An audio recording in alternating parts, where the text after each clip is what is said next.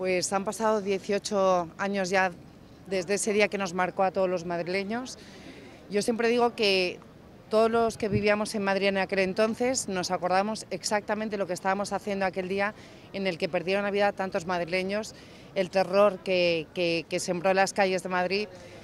Y también es un día para recordar que lo mejor de Madrid se puso a disposición de las víctimas de hecho, el cartel que,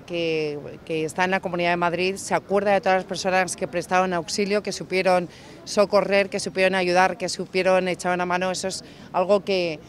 siempre yo creo que retrata a Madrid y que se ha puesto en manifiesto también en la pandemia, se ha puesto en manifiesto además con los gestos de solidaridad que estamos teniendo con el pueblo ucraniano.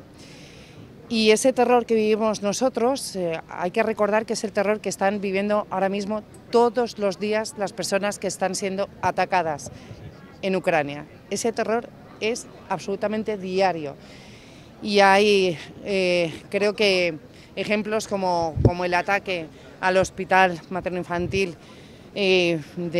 que, sucedió antes de ayer, que, expresan la, la verdadera cara del terror, la verdadera cara de, del odio. Y creo que esa es la razón por la que el pueblo de Madrid se está hermanando de esta manera con el pueblo de Ucrania, esa es la razón por la que estamos viendo gestos de, una solidaridad inmensa y desbordante, así que van a tener siempre, desde luego en España y en Madrid, un, un aliado y un apoyo. Y desde luego creo que es importante que recordemos fechas como estas para que seamos muy conscientes de que esto puede volver a ocurrir, que vivimos en un mundo en el que, en un mundo libre donde damos muchos derechos y libertades por hecho, pero que hay que, que, hay que conquistarlos todos los días.